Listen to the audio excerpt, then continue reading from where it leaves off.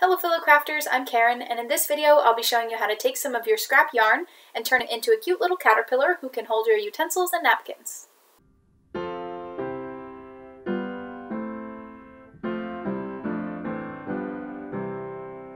If you're the kind of person who has lots of balls of yarn lying around from past projects, then this craft might be just the right one for you to use some of those up. For this, we're going to be turning those balls of yarn into the body segments of a caterpillar, we're going to be putting our caterpillar to work holding the napkins and utensils that you'd need for a picnic or a party. So for this craft, you're going to need the materials and tools that are up on the screen. Our caterpillar is going to have six body segments, one that's the head, three that are single units to hold each of your three types of silverware, and then one that's a double to hold the napkins.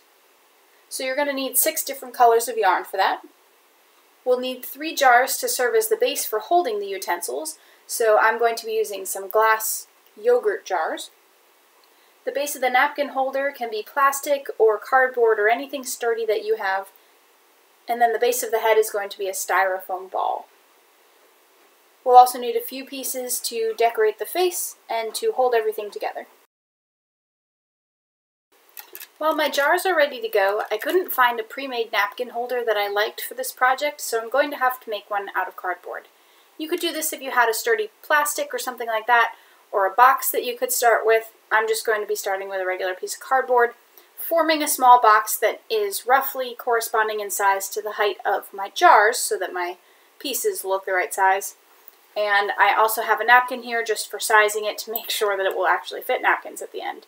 So if you can't find a napkin holder that you'd like to start with, then I recommend you just make one and we'll just make a basic box out of the cardboard, glue it together, and then we can make the bases that will go underneath all of the pieces.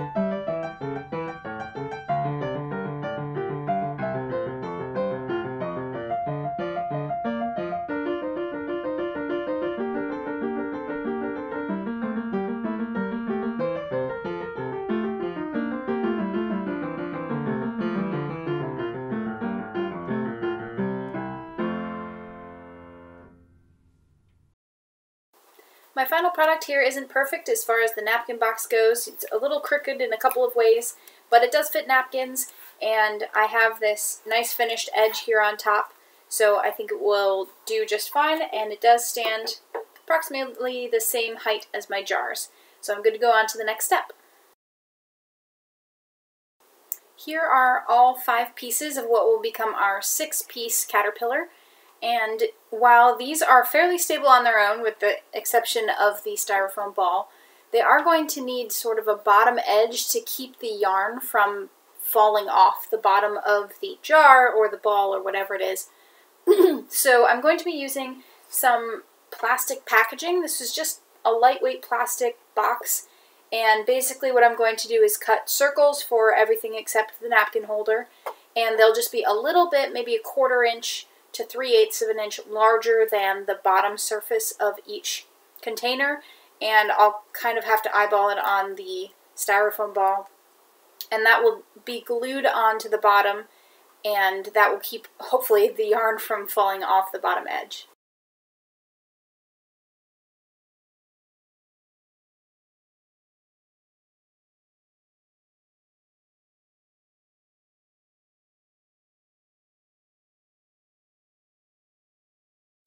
Now that I've got all my plastic pieces cut out, it's time to glue them to the bottoms of my other pieces. And I'm going to be using some E6000 glue for this. I considered using hot glue, but I'm a little concerned that it won't stick long term between the glass and the plastic. And I'm more confident that the E6000 will just hang on for dear life. So we're just going to put a little bit around this bottommost ring and try to center it on the plastic. We'll do the same basic process with the cardboard napkin holder. And then for the ball, I actually have a nail, just a roofing nail, so it's a straight piece with a wide head. And I'm going to put the nail into the ball and then glue to the nail head and the surrounding ball. It's going to be sort of the most complicated of all of them, but I'm hoping the nail head will give it a little bit more staying power, giving me a flat surface to glue to instead of the styrofoam.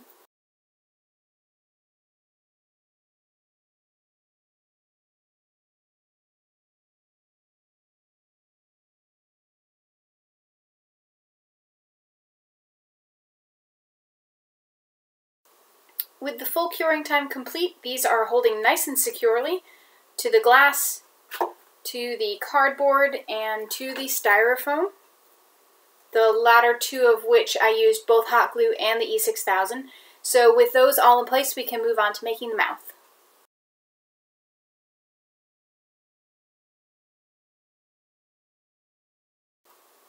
I decided not to complicate matters with the mouth, so all I'm going to do is sketch a happy little grin on this scrap of paperboard, and I'll cut it out and then just color it in with a black Sharpie. You could paint this if you wanted, but Sharpie's going to be faster. And I just have my styrofoam ball out to give me a little idea of the scale that it needs to be.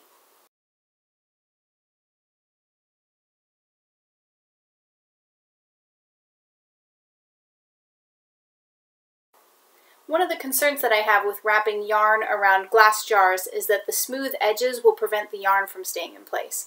So we added our plastic bottom lip, and my, my jars have a glass top lip, but I'm just going to be adding a little bit of a squiggle of hot glue around the top and bottom edges of these to help keep the yarn in place, to give it something to hang on to. And you'll want to remember that anything that you do on a clear glass jar is going to be visible from the inside, so try not to do anything too crazy.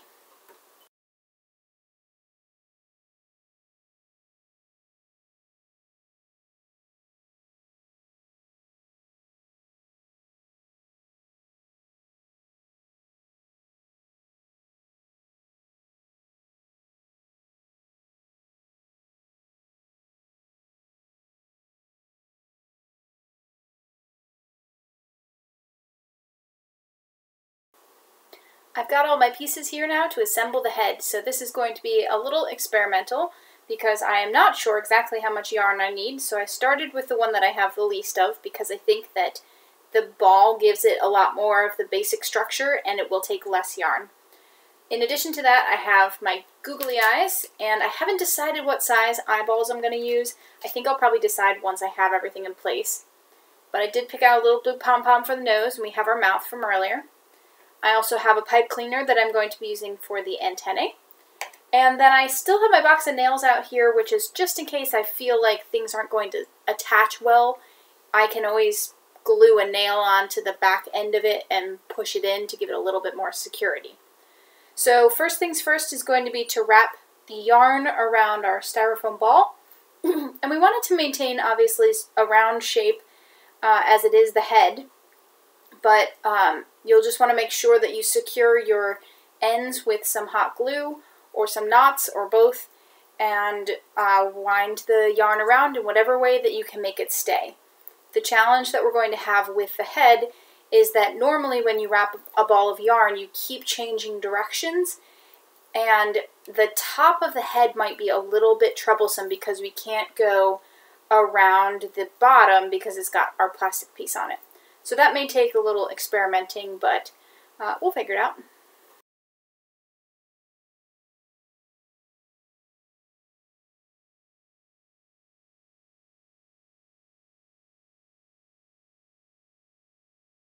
That went better than expected, and I would say the key to doing this is just making sure that you're doing really wide loops around the, the styrofoam ball don't try to do any small circles because they're not going to hold in place just sitting on top of it. You have to go around it.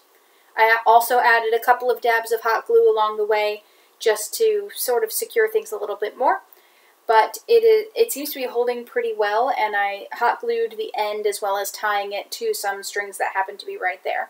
So I'm going to go ahead and attach the rest of the face pieces.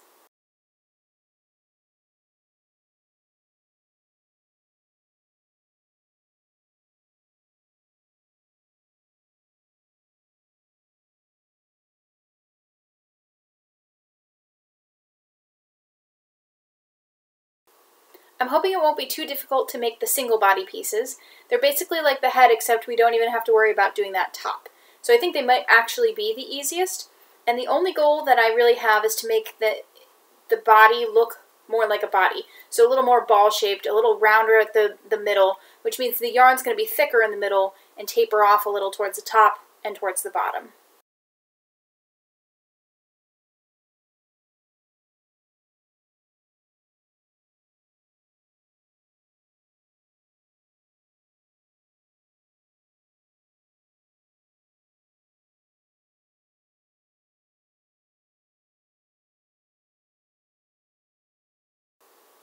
Now we embark on the final and most challenging part of this process, which is going to be turning this single box into what looks like two body segments that are right next to each other. So the first thing I want to do here is just round the corners of my plastic because they're a little bit sharp. So I'm going to do that real quick here.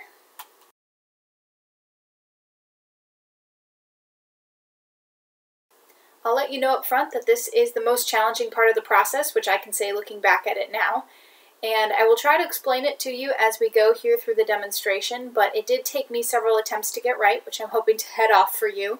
Not only did my first method fail, but my first attempt on my second method, which is what I ended up going with, also failed. So I had to undo quite a bit of work, and you can see that starting here in the demonstration that my ball of yarn, my purple yarn, has the skewer bits attached already because they were done the first time and I didn't need to undo them despite having to undo a significant amount of other work. So to start off, you're going to want to cut your skewer to length, which is slightly shorter than the height of your box, and you will need four of those.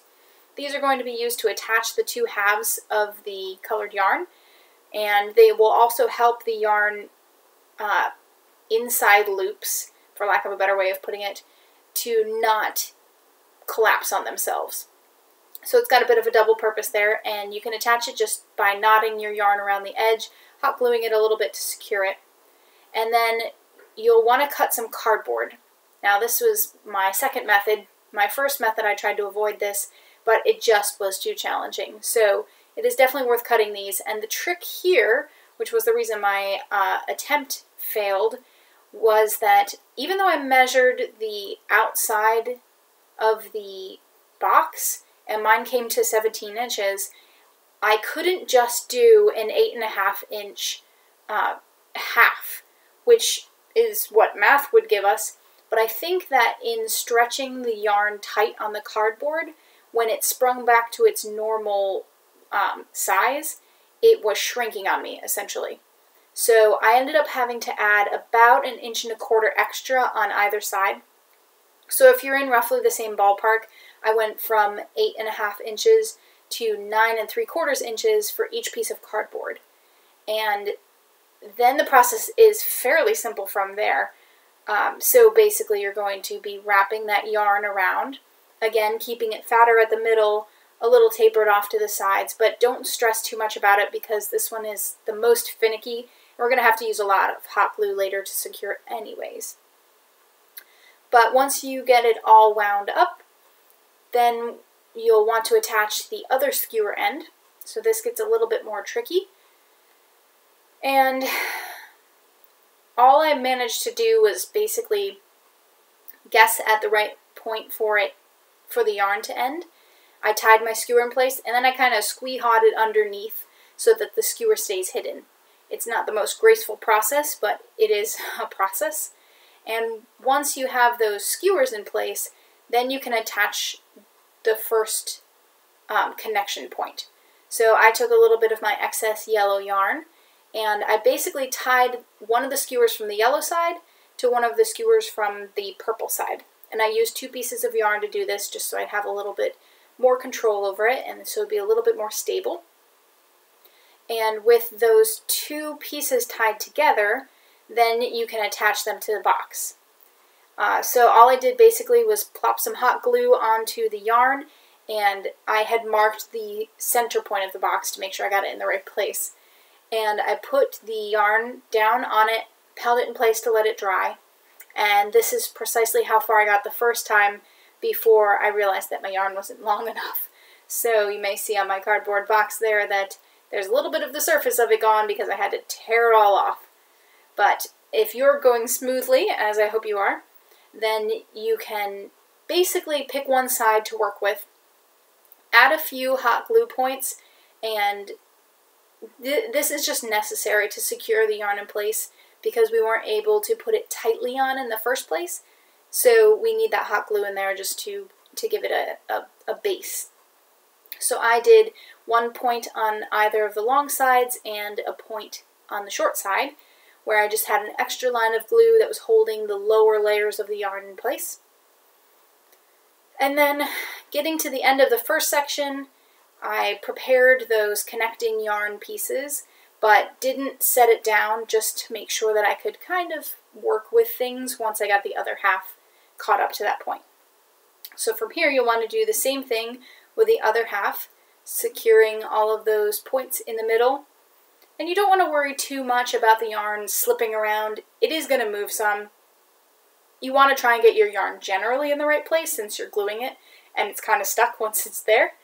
Um, but you don't have to worry too much about the little stragglers because you can recover those later and glue them in place. So with that bit complete, you come to having to connect the last two ends and this was a little bit more challenging because you kind of have to be quick with your hot glue. So I basically prepared my connecting yarns and then tried to hold on to those while putting some glue underneath at the edges and um, it, it worked okay. So it, it didn't look bad in the end. It was a little challenging to accomplish. But I got that glue down, added some glue in between the two colors of yarn just to make sure there was no gap in between the two. And then basically from there, after I was tying off the connecting yarn pieces, it's just tidying up. So you'll want to work along the lower edge, add some glue wherever you need glue to make sure that everything feels nice and secure. So I did it right up against my lower plastic base piece, and then I worked around there, added some extra glue sort of underneath layers. You want to keep it hidden as much as possible um, but then once you've done the bottom, you can work around the top, just trying to get it tidy, trying to make sure you can't see the cardboard anywhere. Um, adding little bits of glue if something didn't look right. Also hiding the connecting yarn on the purple side because it's yellow and it sticks out. So the last thing that I then did was I noticed that my top edge of the cardboard was kind of visible and there's nothing wrong with that, but I thought that it could look better if we had a little bit of extra yarn there.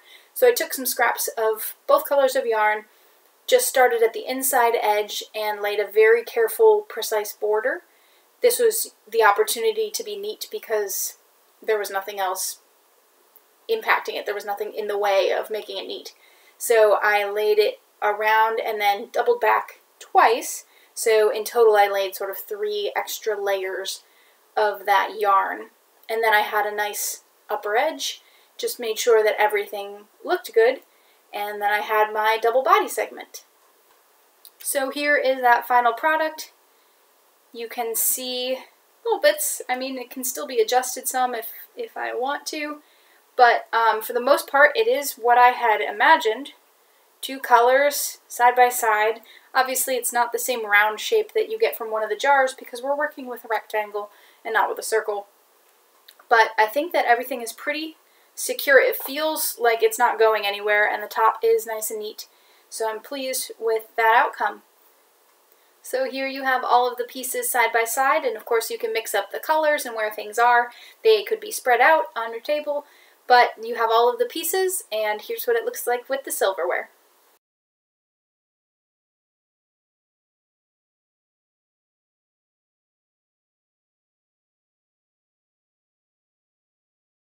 Thanks for supporting Tickled Fancy Crafting by watching this video. This content is available on YouTube and Rumble, so click the like or Rumble button to let me know that you enjoyed the content, and subscribe to see new Tickled Fancy Crafting videos in your feed. If you'd like to be informed directly about the content, ring the notification bell on YouTube or adjust your notification settings on Rumble. Comment with crafts that you would like to see in the future, and remember, you can make this.